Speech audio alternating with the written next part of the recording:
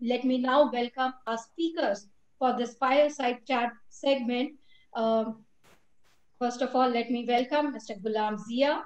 Uh, he is the Senior Executive Director uh, research, advisory, infrastructure, and valuation at Knight Frank, where he's responsible for developing strategic initiatives and implementing growth strategies for the business areas. With over two decades of experience, Zia has advised some of the biggest developers banks, private equity funds, corporate houses, governments, and administrative bodies on various real estate and infrastructure requirements. Zia has been part of various industry forums and associations, and he's member of the RICS. Also welcoming Ms. Tara Subramaniam, founder, president, Naredco Mahi, and independent director, JM Financial Home Loans Limited. She has over 38 years of work experience in banking, real estate, project financing, and business development. She started her career in 1983 with HDFC Limited, after which she joined the NBFC of JM Financial Group and helped set up JM Financial Home Loans Limited and Dwello the real estate broking arm of JM Group. She's a member of the governing council of Naredco West and founding president of Mahi Women's Wing under Naredco. So this, uh, these are the eminent speakers and I hand it over to Mr. Gulam Zia for that conversation that we are waiting for. Thank you so much. Thank you, Sapna. It was uh, quite an elaborate introduction as far as I'm concerned. Uh, well, I'm not talking about Tara, who brings in at least one decade more of what I have to offer. So at least as far as I'm concerned, I thought it was overdoing on intro introduction. Well, on as far as Tara's concerned, well, it's it was a very small introduction that Sapna you offered. As I said, uh, we I, I had the privilege of this uh, a brief chat with Tara uh, uh prior to the event, and uh, I expressed to her that it was my first interaction with her, and it was always on my bucket list to talk to her. So this opportunity given to me by uh, uh, by Realty Plus TV is highly, highly appreciated. And, and as we're talking about uh, uh, something which she mentioned was pretty interesting to me. She said, hey, all that data that you talk about, all the numbers that you keep throwing around are pretty common all across. So let's let's steer clear of all those numbers, etc. Let's talk qualitative. Let's talk, if possible, since it is also an informal chat, I'm sorry, and I'm, I'm wearing a jacket. I saw the previous session. All of them were in t-shirts and kurtas. I should have done that myself because he wanted it to be an informal chat. But unfortunately, as I said, I can't do much. But if it is an informal chat, we need to, as she also said, steer clear of data and talk about quality. Quality of life, quality of professionalism, quality of our uh, uh, uh culture and thoughts going forward. A lot of things to talk about as far as Tara is concerned. As I said, she is the one who I always hold in very, very high esteem. Welcome to you, Tara. Thank you so much, Gulam. I'm feeling like a seven star person with all this, what you've said. Yes, it's been a long decade for me, long, long, long time since 1983 when I was half my size with completely black hair when I joined. And way back in 83, things were not what it is today. Things are so much easier for women but we will talk about it as we go along. Sure. Yes, yes, real estate and finance has been my forte. And I keep telling people the only thing that I've invested in life is in, in, in relationships. So it's been a great thing for me to be called today. Thank you, Tripti. Thank you, Sapna. It's been a great, great honor to be part of this event today. Great. So, so there we start. Um, uh, as we were discussing earlier, you know, uh, uh, while it's about capital, it's about financing, it's about a lot of these things that uh, uh, uh, the, the organizers wanted us to talk about. But I'm more keen, as you and I spoke about, to keep it as informal, as towards the life side as possible, as little of professionalism, the better.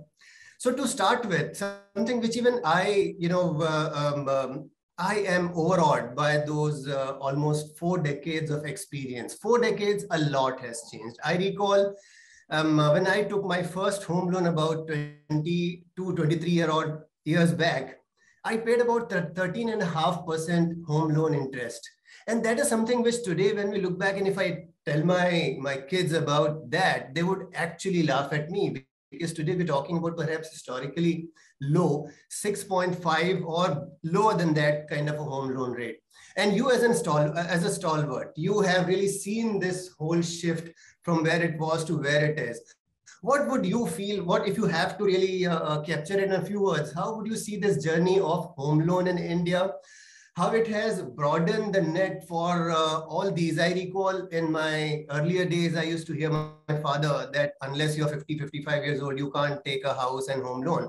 Now you have uh, uh, kids half his age, say 25, 30 are also taking home loans. So a lot of these things have changed. A quick overview from you, Tara, on how this whole home loan industry has changed. Of course, because you're a stalwart, you have seen that, been there and done that. You know, I think this whole credit for home loans in India goes to Mr. H.T. Parekh. As all of you know, who was the chairman of HDFC Limited. He is the one who started it. HDFC was the first company that gave home loans to people across India. And you're talking about rates of interest. Yes, I remember the rates of interest was as high as 13 and 13 and a half percent. But you know, you should also remember, Gulam, at that point of time, even deposit rates were 11 percent so you know it's always been parallel. Deposit rates have always been 2 to 3% lower than what you borrow from the market. So you know there was there has been a lot of uh, regular regularization of uh, lending across from since 1977 that's when hdfc came into uh, to, to it was in, established in 1977 and it has seen a huge change. I remember when i Actually, let me go back. I went to HDFC because a friend of mine wanted to take a loan. I liked the company very much. I mean, I, what I saw of the company, and I said, yes, this is where I want to work. And I applied for a job. And fortunately for me, they called me for an interview. And within about two weeks, I was inducted. And in those days, in I'm talking about way back in 1983, women were either um, stenographers, uh, receptionists, or telephone operators. So people like me, it was very difficult uh, to to I wouldn't say break the ceiling because there was no ceiling at that point of time, but you know to be taken seriously, build a career. But I've ha- been extremely fortunate that I've had this awesome organization to start my career. Even today, uh, Gulam and all you guys there, I think I have that halo of HDFC wherever I go. All my principles, all my uh, discipline, everything has been set uh, because of HDFC Limited. And uh, yes, rates of interest has really uh, come down, which is good for people because it makes it so much more easy for a person of a younger age to take a loan.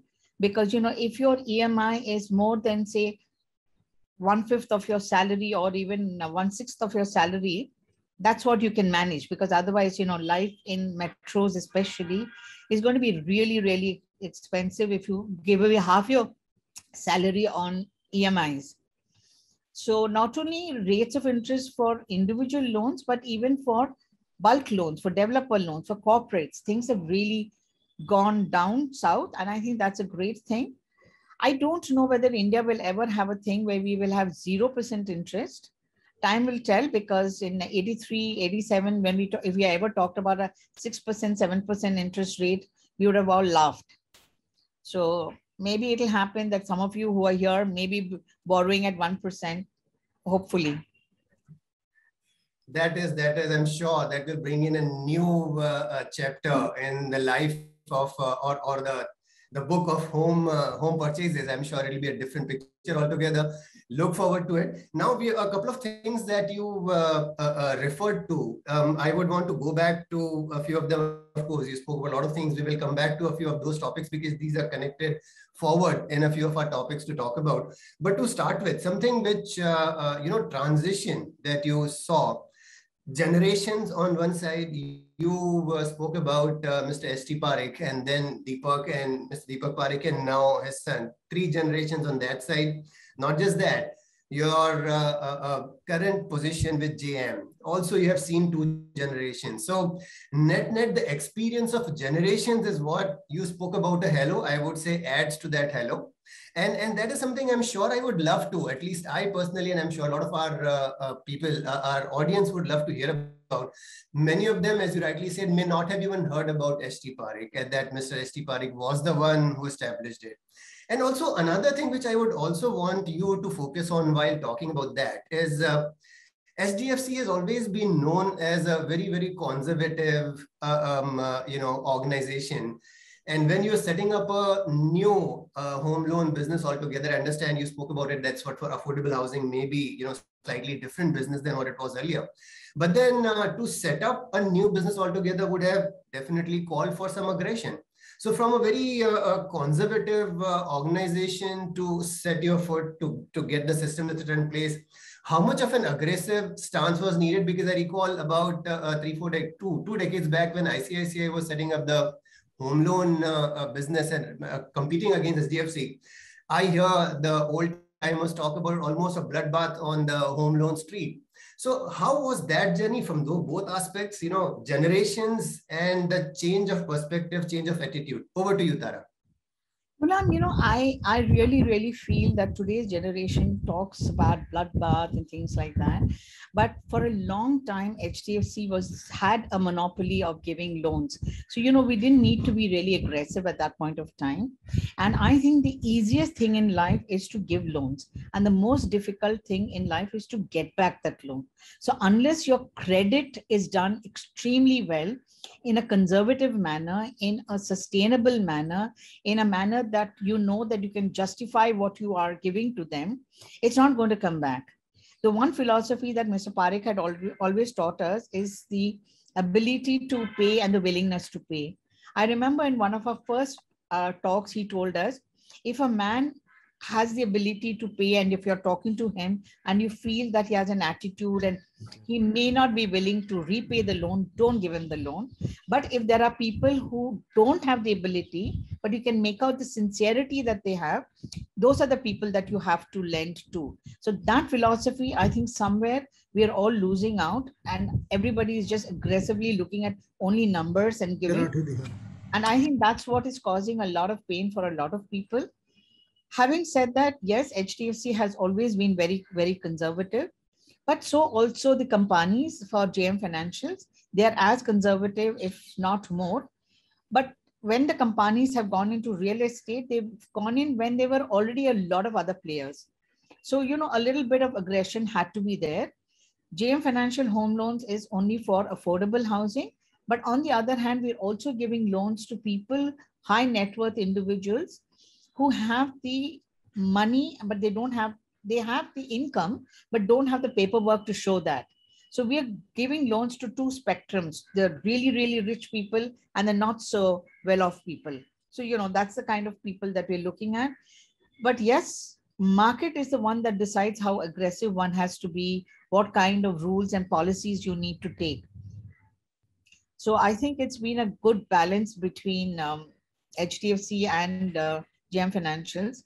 Both are extremely conservative. If you notice, even the NBFC of JM Financials is one of the best going around today. They don't have the kind of uh, pain that a lot of other NBFCs having having because Vishal Kampani and Hari Iyer, who are the main guys in the NBFC, have always been extremely uh, conservative, and I think that's stood the test of time. Okay, that at that juncture, I would want to have some little touch of what was the agenda given by the organizers. Uh, while we're talking a lot personal, but I will take a small break and go to what they wanted us to talk about. Sure. And uh, the subject which I hear Sapna talking was talking about was uh, bringing in capital, global capital, global finances in Indian real estate. Now, this is a subject which I'm sure tens of them once again will be talking about a lot of things that uh, uh, right from 2005 press note two days, a lot of uh, you know what has flown under the bridges.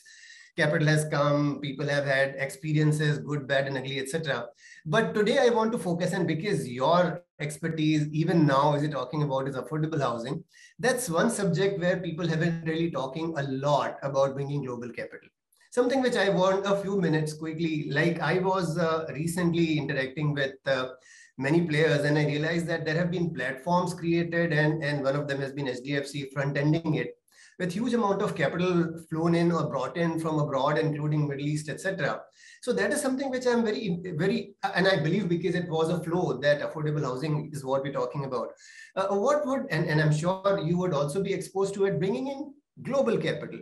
For affordable housing, you know, because with Pradhan Mantri Awas Yojana, etc., uh, uh, we're talking about uh, percolation of housing all the way to mid to lower end. I'm obviously not talking about absolute social housing, which is a burden on exchequers. I'm talking about the housing which is which is actually money making, where there is still money. It's actually the, the bottom of pyramid where the, the volumes are huge and need good amount of capital to uh, finance that. And at last, last couple of years, a lot of developers have started looking at affordable housing with uh, pretty much all the top developers from uh, Tatas to Mahindras to Godrej and Shapoorji, all of them have been focusing on uh, low-end housing. So what would your view be on bringing capital into mid to low end of housing, affordable housing, so to say? Over to you, Tara. See, uh, Gulam, money is something that is so, so important because real estate is capital intensive. Because land, of course, is very um, scarce and uh, because of which uh, in, in, in the periphery of every city, every town is where the affordable housing comes up. There also there is paucity of land. So obviously you have to go up and that obviously is going to cost more for a developer because you know the higher you grow the more expensive it's going to be so capital from all over is really required money from abroad is important because you get cheaper funds now, you were talking about rates of interest when you paid 13% rates of interest when you took a loan. Gulam, I want you to tell you something is that the affordable housing sector, the, uh, the unorganized sector today are paying anything between 12 and 16% rate of interest.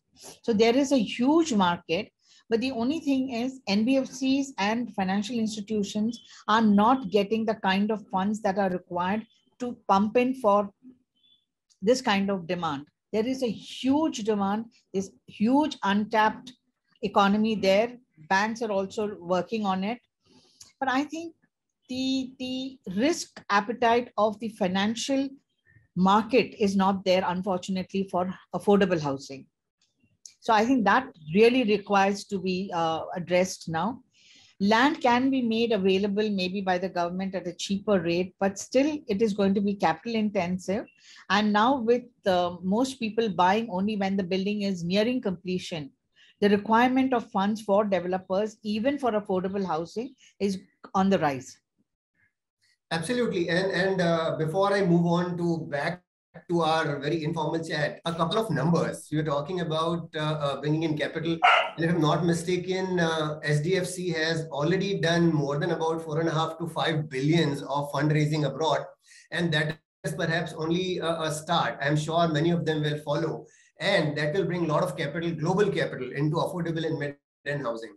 So with that, if I, if I, if you allow me, Tara, let's go back to a bit of a casual or informal kind of a chat we were talking about uh, a, journey of decades, three to four decades. And, and you also mentioned you walked in to take a home loan and you came back with a job. While they gave me only a home loan, no job was offered to me. You are the lucky one. Did you How apply? Did, did you apply? Did you apply? I'm sure they would have taken you, but you didn't apply. So, so, the, so what I wanted uh, uh, to hear from you is how the life has changed, as you mentioned, the jet black hair, the youngster who walked in to take a home loan, to where you are, a grandmother, to a 15 year old or uh, yeah, 15, 10 year, 10 year old boy. You have actually seen pretty much the whole life you have given to real estate. A few quick words on personal side. How was this move from uh, a youngster to where you are today? You know, Gulam, I think I, as I keep saying, I've been extremely lucky that I joined HDFC. I've had the best of teachers, whether it's Mr. Deepak Parekh, Mr. KG Krishnamurthy, Mr. KK Mistry, uh, Mr. Pradeep Shah, who's been my big hero for a very, very, very long time. He's still my big hero. These are all people who gave women folk a lot of importance in the organization. And one of the best things about HDFC is you know, when they gave you a job, they didn't peer over your shoulder to see if you were doing the right place, right thing. And also, I think credit was given to us when we needed the credit. Promotions were given not because of anything, but only because of uh, the way you performed.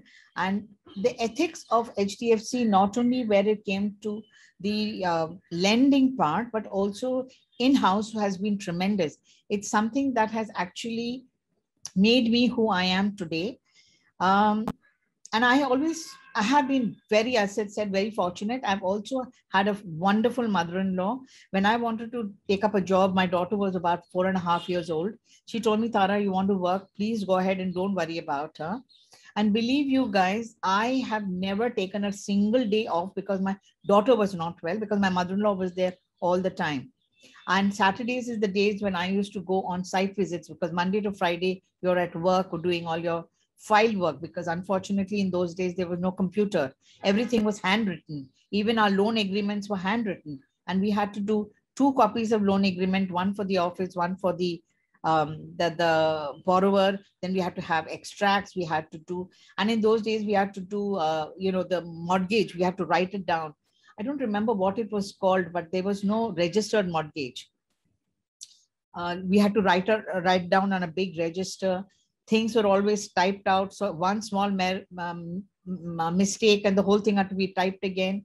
So we've gone the uh, difficult way. EMIs also you know, here now you have EMIs, you press a button and you get your EMI. You just change the term, you change the rate of interest and it pops up. It was not like that for us.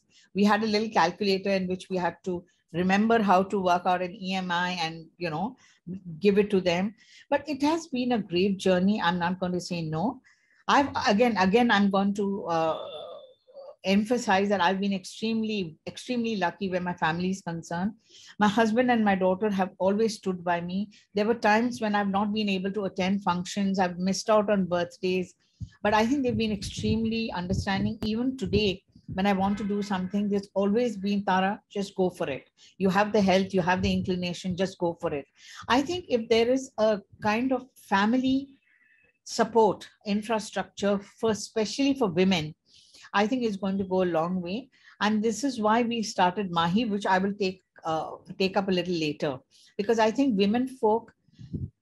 What happens, unfortunately, in our country, if there are there's a couple working, and if the boy's mother is not well, it is understood that the girl has to take the day off and be with the mother-in-law. It's I can't even imagine the boy saying, "Okay." Um, to his wife, why don't you go and work? I'll be at home to look after the mother. I mean, it looks like if the man takes the day off, the office is going to close. And if the and, the, and then the girl will say, no, I have an important meeting. She will have to listen, huh, as if the office will close if you're not there. So I think if that change happens in our society, I think it's going to be great for women. And I think where 50% of women folk, uh, where 50% of the population of women folk, I think we should make more, open more doors for women to not only work, but also to uh, uh, rise themselves, go up the corporate ladder, make it easier for them. Sure. That, that's in fact, uh, uh, you uh, preempted two of my following questions. I'll try to make sense. The reason I, I brought your focus towards your personal life indeed was I wanted this question to come up that what are the views or what are the ideas that you would give to these uh, the next generation to bring in more parity between these two sexes to bring ensure that the ladies actually rise. And and as we were talking the other day i i last two and a half three decades i carry i haven't seen ladies uh, uh, you know rising up in the real estate. And and as you spoke about the next question was to be mahi. And mahi's reason why mahi was formed is actually to ensure that we see a lot of uh, women come up on the leadership position in real estate sector and that is where i that that was key reason why i uh, broached the subject of your personal life and how you managed all these tough situations during the course so here it is the last part of our uh, discussion because i guess uh, officially three more minutes to go which is where I would rake up, I would talk about Mahi as well. Mahi, as I understand, is uh, uh, uh the focus NAREDCO is bringing in to ensure that ladies get their fair share of uh, uh, leadership positions in real estate. And you have been spearheading that. So your ideas of what it is, and if at all, if you can also, I know it's too early, but if there are some rough ideas or rough thoughts or concepts, what are these concepts that you would want to adopt to ensure that we create a level playing field for both sexes? Over to you, Tara. Yeah, Gulam, I think you're asking me two questions. What would I tell the next generation?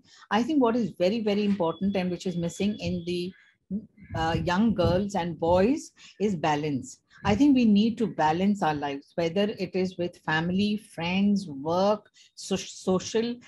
There is no balance in, in any of any of their lives. We had to balance everything. I think the key word is balance. Uh, it, family has to be given importance, work has to be given importance. And if people keep the balance, I think the required balance, I think that's half the battle won.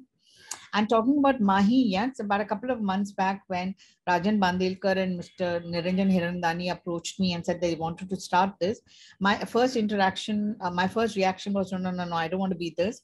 Because in a male dominated industry, a women's wing is nothing but a first wives club. So I felt that I have at least another five, six years more to give something to people. As I said earlier, unfortunately for me, except for my mother-in-law, I had no woman really who mentored me, who held my hand, who made me understand what work life is all about. It was only a male perspective that I had, male kind of support I had, uh, which was been great. But I think a lot of things today, a woman can stand by another woman. And I think that's what is so required in this industry. We in Mahi want to uh, not only well, I, I'll put it very uh, bluntly. I want to be the wind beneath their wings there are very, very many women who are entrepreneurs who want to realize their dreams. They don't know where to go. See, there are a lot of brokers who have broking platforms. But unfortunately, in our country right now, we don't have any platform for women entrepreneurs in real estate, infrastructure, and allied products. When I'm talking about allied products, it could be manufacturing of anything that goes into a building. It also includes interior decoration girls, interior girls, architectural women, lawyers who are dealing with um, uh, real estate. All of them are most welcome to be part of Mahi. Now, I, I, can't sit and tell you everything that we're going to take to do with Mahi. It'll take me another half an hour. But to rest assured that we are here to grow them grow and you know in a sustainable manner we want and i feel that every woman that is successful in mahi is a success of mahi if one woman also realizes a dream in a year i think i have achieved half my goal so i really really want everybody who's listening today to take it forward and please get in touch with me if you know any women entrepreneurs and I would really like to bring them into our fold and see that they do well in life. Sure. Thank you so much, Tara. We have exhausted uh, the Thank questions you. or the points that we have to interact. And I can already see Sapna emerging on the screen while she allowed the previous session to eat away five minutes of our time. And, and she is very, very particular that we wrap it up within exactly the given time. So that's it. In any case, we we we crashed crashed it into the time you are allotted, you have allotted to us, Sapna. So back to you, Sapna. And in case yeah, Gulab, we have so many questions. Answers, yeah, we have so many questions. So I thought let's take some minutes for you know audience questions as well. And I will put those questions to both of you. You both are, have been in industry for so many years, and we would need your. Uh, so the question uh, we have is that you know what has been the biggest lessons over the past 15 months of pandemic? Ms. Tara, starting with you. anything is possible. And I think what has happened is we've also realized that however much we decide in life, there is someone up there who's going to tell us this is what it is. You better listen to what we are saying. But yes, I think it has taken a huge toll on on all the human beings, uh, especially on children, youngsters. It's been a very, very tough time for a lot of people because also uh, I think socially, we all the sort who need to go out and meet people, work together, uh, you know, sit uh, and have a cup of coffee with your colleague and talk. All this is not been happening. Most people don't have homes where they can have four uh, uh, uh laptops and iPhones, you know, talking on the phone, studying. It's been very tough. I know there is a lot that we can foresee, but I don't think anybody foresaw, uh, could foresee what has happened here but i think it is just going to make us all tougher people and also i think i'm not sure but at least i've realized more and more the value of relationships i've realized the more and more value of making the best of what we have today we can plan for tomorrow i don't say no but let's all live for the moment That's right. Relationships, yeah, as Ms. Tara is saying, that relationships have become, you know, they have come into focus and uncertainty of, you know, things going whichever way. So now people are more prepared about uh, facing uncertain times whenever they come. Uh, Mr. Zia, what is your view? What have been your biggest lessons from the past 15 months?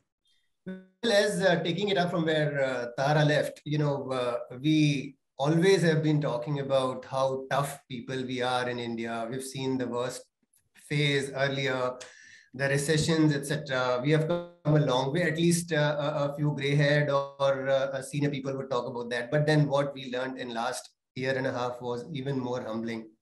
But then at the at the end of it, we know that we have bounced back and bounced back like what? Like at least as far as real estate is concerned, uh, uh even before uh, uh, the pandemic set in, the people were writing the eulogies for uh, residential real estate sector and look what has happened once we are through on the other end of pandemic it was perhaps it was pandemic which was needed to bring real estate back on track. We had done everything right from regulatory to uh, cleansing the system to funding you name it. Everything was done but the sector was not bouncing back. And perhaps it was the pandemic which was needed to bring real estate back on track. That's exactly how i look at it.